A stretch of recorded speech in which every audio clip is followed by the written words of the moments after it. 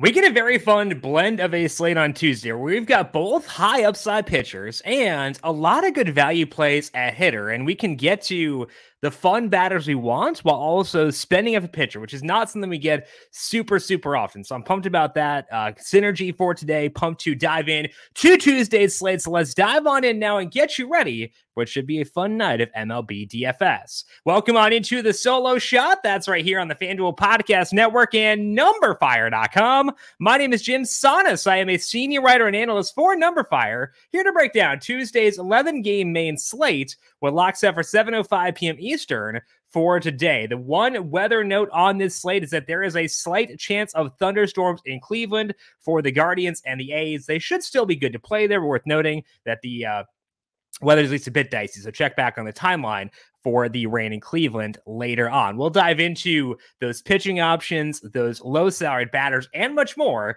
here in just one second. But first, a reminder to make sure you're subscribed to the Numberfire Daily Fantasy Podcast feed wherever you get your podcasts. Later on today, we'll have PGA DFS preview for the Travelers Championship, another designated event. So a lofty, lofty field for this week at the Travelers. We'll break down the course, let you know which golfers we're zeroing in on for this week, and get you ready for another fun week of PGA DFS. All right, here in the same podcast feed, the Numberfire Daily Fantasy Podcast feed. Subscribe wherever you get your podcasts. And if you like what you hear, leave us a five star rating on Apple Podcasts and on Spotify as well. Hit a homer with $5 Dinger Tuesdays on FanDuel Sportsbook. Each Tuesday, all customers will get $5 in bonus bets for every home run hit by both teams when you place a $25 to hit a home run wager on MLB games. And the best part about Dinger Tuesdays is even if your bet loses, FanDuel will pay you $5 for every home run. There's no better place to bet America's pastime than America's number one sportsbook. Head over to your FanDuel account or download the FanDuel Sportsbook app to pick your home run hitter. Must be 21 plus and present in select states. Bonus issued as non withdrawable bonus bets that expire in seven days. Max bonus $25. Restrictions apply. See full terms at fanduel.com slash sportsbook. FanDuel is offering online sports wagering in Kansas under an agreement with Kansas Star Casino LLC. Gambling problem? Call 1-800-GAMBLER or visit fanduel.com slash RG in Arizona. 1-800-NEXT-STEP or text NEXT STEP to 53342. In Connecticut, 1-888-789-7777 or visit ccpg.org slash chat. In Indiana, 1 800 9 with it. In Wyoming and Kansas, 1 800 522 4700. In Kansas, ksgamblinghelp.com. Louisiana is 1 877 770 STOP. In Massachusetts, gamblinghelplinema.org or call 800 327 5050 for 24 7 support. In Maryland, mdgamblinghelp.org. In New York, 1 8778 Open Wire, text Open Y. And in West Virginia, go to 1 800 gambler.net. Pitching preview for this Tuesday main slate. Nathan Eovaldi comes in with the highest salary on FanDuel. His salary is 11,000 flat, followed by Framber Valdez at 10-9. We got Clayton Kershaw at 10-7, followed by Gerrit Cole at 10-6. Marcus Stroman comes in at 10-3 with George Kirby also at 10-3. Bailey Ober 96 with Mackenzie Gore at 91. And then Jordan Montgomery, Dylan Cease, Aaron Civale, Justin Verlander, and Ben Lively are the others at $8,000 or higher.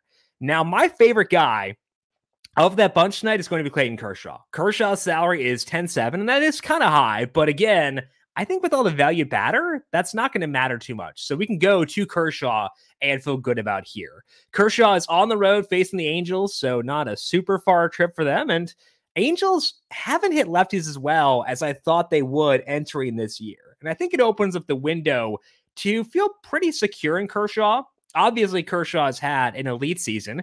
Across 14 starts, he has a 3.26 skill interactive ERA with a 2.95 actual ERA. So good peripherals and good results.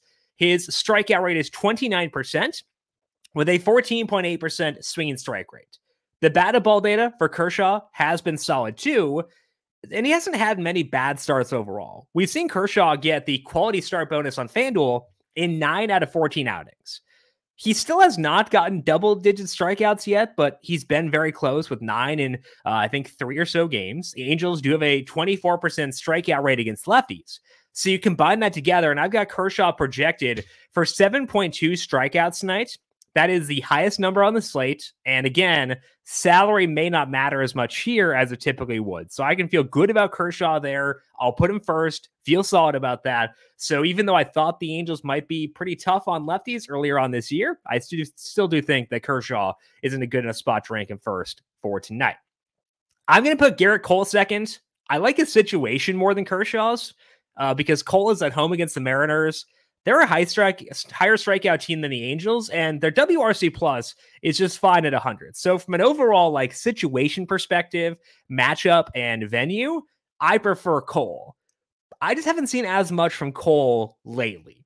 His strikeout rate this year is down to 26%, and it's been decreasing in the more recent games. We've seen Cole throwing fewer changeups his past six starts, and in those six starts, his strikeout rate is down to just 25%.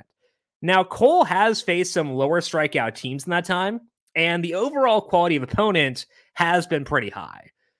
It's just not going to inspire you on a slate where we have Valdez, Kershaw, Eovaldi, all these other really fun pitching options available to us. But Cole did have eight strikeouts against the Mets last time out. Uh, that's a tough, low strikeout matchup, and he fully came through for one of his better starts we've seen in a while. So it's definitely possible for Cole to still rack up that kind of game. I would not blame you if you want to put Valdez above Cole because I think Valdez is pretty fun as well. Uh, Valdez facing the Mets. So again, low strikeout matchup, but he is at home, as is Cole. So I'm going to go with Cole second but if you want to go Valdez second above Cole, I think that's very defensible too. So my top pitchers for tonight are going to be Clayton Kershaw one. I'm going to go Gerrit Cole two, Framber Valdez three, and then Nathan Eovaldi also in consideration. Uh, just not quite as high in him as I am on the other guys for tonight. As far as the value play goes, you have two options. You can take a better pitch up and a pit, better pitcher in a tough matchup, or go with the guy who may be a bit flukier, but is in a very much plus spot at home. I'm going to take the easy matchup personally, but we'll talk about the other guy in things to watch later on. The plus matchup belongs to Ben Lively. He is at home against the Rockies, and we always want that matchup. The Rockies have a 91 WRC plus against righties with a 35% fly ball rate and a 25% strikeout rate. Their plate discipline numbers is kind of bad all around, which means guys can go pretty deep in games against them, especially when the game is not a Coors Field. And Lively hasn't fallen off yet. We're up to six starts on him as a starter now, and he has a 3.79 skill interactive ERA with a 25% strikeout rate and just a 35% hard hit rate allowed. Lively did have two bad starts, but he still went deep in both those games. And that's kind of a huge appeal for him in DFS is that they will give him a large pitch count, especially now that the Reds rotation is kind of banged up. So they need guys to go deep in games, and Lively can be that guy. I'm still not sure how sustainable this stretch for Lively is because he did not show this in the minors. He was not dominant when he was in the KBO, but the sample on Lively being a quality starter keeps on expanding. So the peripherals have remained solid. You put him in a plus spot at home. I think we can use him here at $8,000. Now, the question is will we need those savings? I don't think so, but you can use different aspects of a stack if you use that. So I like the Reds. They got a lot of value plays. Maybe you get to all the studs instead uh, by using Ben Lively. So Lively to me, the top value at pitcher for tonight, a guy I do feel good about.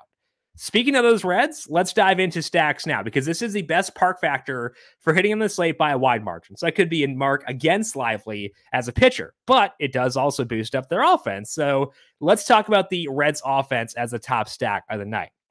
The Reds are facing Noah Davis, and that's the guy we can stack against. Davis is starting in place of Kyle Freeland, who uh, had a stomach bug. So Davis called up at the last minute to start. And we saw Davis in the majors earlier on this year. He had a 6.17 ERA there.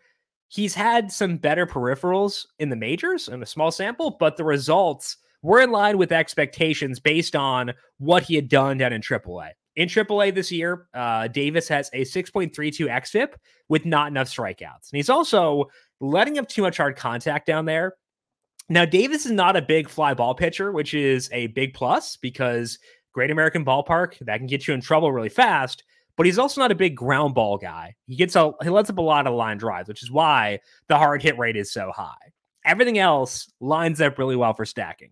The Reds WRC plus against righties is up to 98, creeping up every single day. So I think we should be on them here. And again, we're getting them at a time where they're pretty healthy right now because they got just got Joey Votto back, and Votto had a huge home run last night. But also Jake Fraley just came off the IL, and I think he's kind of the big part of stacks here because against righties, Fraley has a 203 ISO with 11 stolen bases. So you get two sources of upside for $3,100. And I'm going to find that pretty hard to turn down.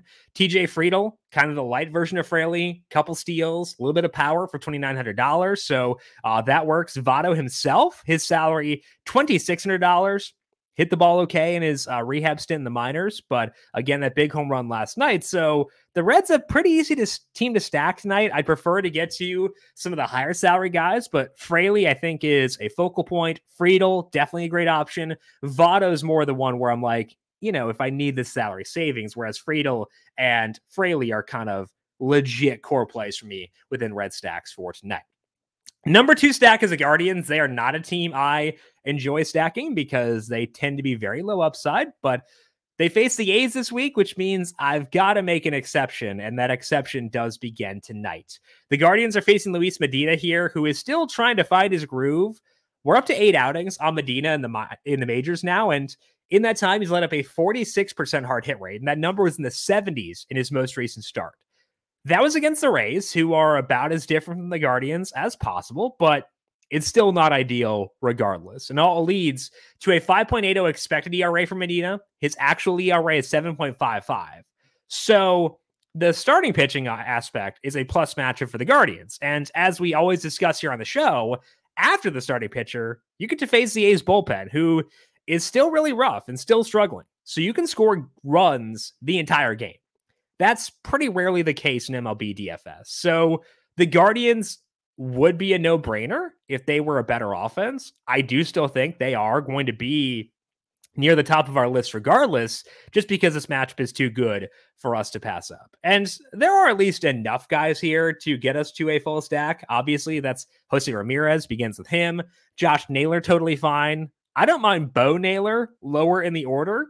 They just called him up uh, recently, hit for plenty of power in the minors. He can steal some bases too. There are some other guys who we can feel okay with in this lineup, but to me, it really does revolve around Ramirez and Naylor, and then maybe you get to Bo Naylor as well within those stacks. Get the Naylor stack uh, for the Guardians for tonight. Finally, the Brewers are a hard team to read.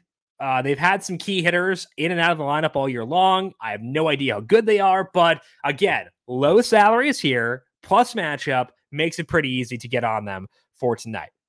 They're facing Ryan Nelson, and Nelson's a guy we can stack against for the season. He has a 5.30 ERA. He's struggling to get strikeouts, but also letting up a lot of hard contact, which is not the kind of combination that you want. Nelson has been throwing more changeups his past nine starts, and the changeup does seem like a pretty good pitch for him, but even with more changeups, the peripherals still underwhelming that time specifically. His skill interactive ERA is 5.43 with a 46% hard hit rate. The strikeouts do go up a tad in the sample, but not enough to erase all the hard contact. Nelson has had good outings, but they've primarily been in super, super plus matchups. He did struggle also at home against the Rockies, which should have been a good spot for him. So now you put Nelson on the road against an offense that it's kind of hard to pin down. I think that uh, it does make sense to stack against him here. So the Brewers, to me, the number three stack behind the Reds and the Guardians.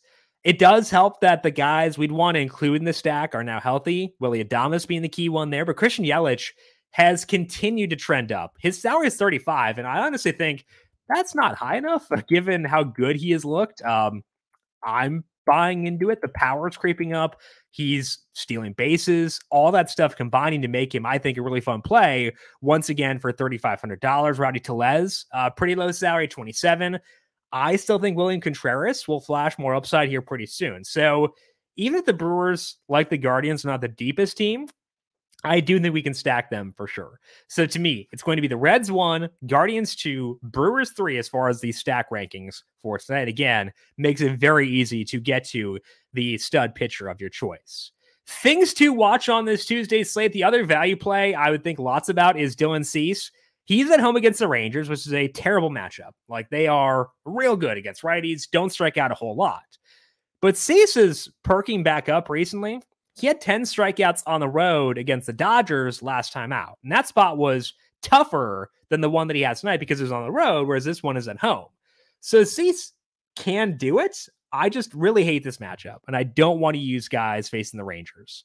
I will definitely consider Cease at 86, but I did want to giving the slight edge to Lively just because the matchup for him is so much easier and he is also at home. Johan Oviedo absolutely mowed through the Cubs last week, and he's now facing them again. But that game was at Wrigley Field. And again, that was one of the wind games where the wind was blowing heavily in, lower temperatures. And now goes to Pittsburgh, and the temperatures are 80 degrees. Oviedo still letting up a lot of hard contact. So I don't hate the idea of using some Cubs against him tonight, given that Oviedo did just face them, uh, did very well there, but they've seen him now, better hitting conditions this time around. So I don't hate the idea of going at some Cubs there. One other spot to consider for stacks is the Padres. They're facing facing Anthony DeSclafani, who's had some big issues recently. He's let up four plus earned runs three of his past five starts, and those did come against tougher teams. But the Padres are pretty tough too. There's a lot of hard contact in that stretch for DeSclafani. It's a bad park for pitching in San Francisco, but they're at least viable for tonight. So the Giants, another offense to consider for stacks for tonight.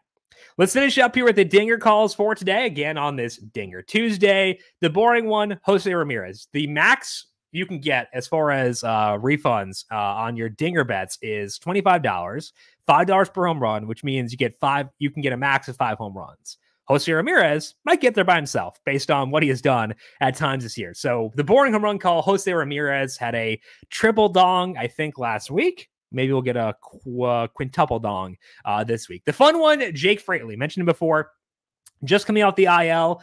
You know, this doesn't play well for a dinger bet, but like he does steal bases too. So from a DFS perspective, that's a nice bonus to have. So we'll go with Jose Ramirez and Jake Fraley as a dinger calls for this Dinger Tuesday. That's all the time that we have here for today on the solo shot. As mentioned, we are back later on today, though, here on the numberFire Daily Fantasy Podcast feed, breaking down uh, the Travelers Championship from a PGA DFS perspective. So if you want to play some golf uh, following last week's major, tune on in then later on today to get a breakdown of the Travelers Championship. If you've got any questions for me, I am on Twitter at Jim Sannes, J I M S A N N E S. You can also follow the FanDuel Podcast Network at FanDuel Podcast. Want to thank you all for tuning in for today. Good luck to you with your MLB DFS lineups for tonight. We'll talk to you once again tomorrow to break down Wednesday's slate. This has been the solo shot right here on the FanDuel Podcast Network.